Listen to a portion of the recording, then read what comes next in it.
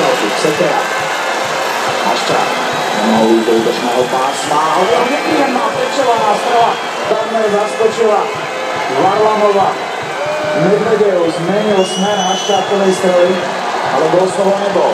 Malkin, jeho úsilí navýšiť.